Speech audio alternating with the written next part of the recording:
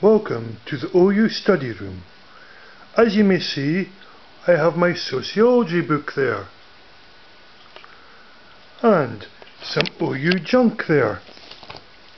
Yes, it is a PT3 form. And some wonderful OU books. We have my biscuit barrel full of biscuits for studying. The laptop. Note Facebook.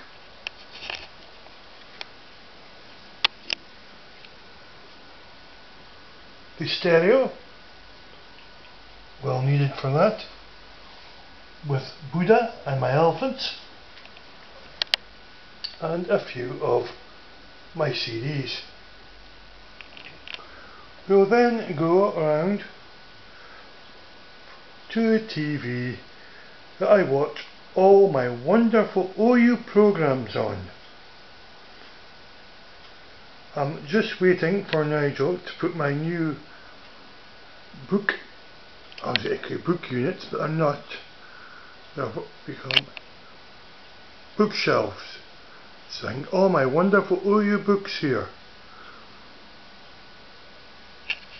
Right, we'll go round the rest of the room later.